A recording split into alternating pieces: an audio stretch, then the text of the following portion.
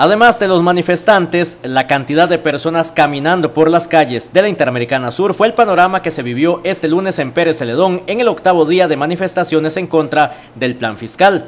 Los buses se estacionaron cerca del Brasilia, donde las personas tenían que bajarse para caminar hacia el centro y también sirvió como terminal para que los usuarios volvieran a sus hogares. Aunque la caminata fue parte del día por el bloqueo, en la mayoría de los casos estaban en favor de la protesta. Sí, claro, perfecto, está perfecto. ¿Qué le parece a usted todo muy este bueno, movimiento? Muy bueno, ojalá que no se dejen.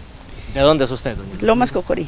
O sea, usted eh, se bajó del bus aquí en Brasilia, caminó, hizo sus mandados y ya, Ya, de vuelta. vengo de regreso, sí, ya vengo de regreso. No estoy apoyando la huelga acá, pero, pero en realidad la, la huelga es muy justa.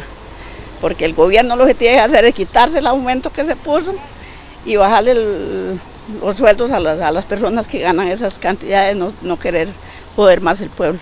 Pero es que más bien ese asunto más bien es donde deberíamos de unirnos todos, porque en este país se está perjudicando mucho al pobre. Sí, tamaño poco.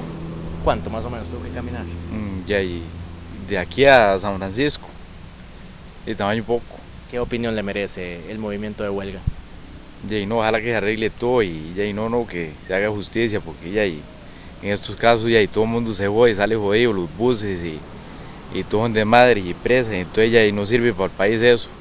Ojalá que se mejore y que el presidente haga lo que tenga que hacer y, y las demás gente ya, y que, que hagan negociaciones y paren esto ya, porque mucha gente ya ha salido jodida con los trabajos y transporte y todo, entonces ya, y, y no, no puede seguir esto así.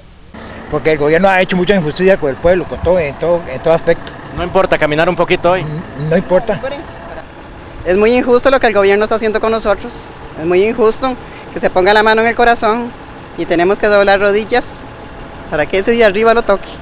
Porque él está haciendo cosas muy injustas y van a ser peores.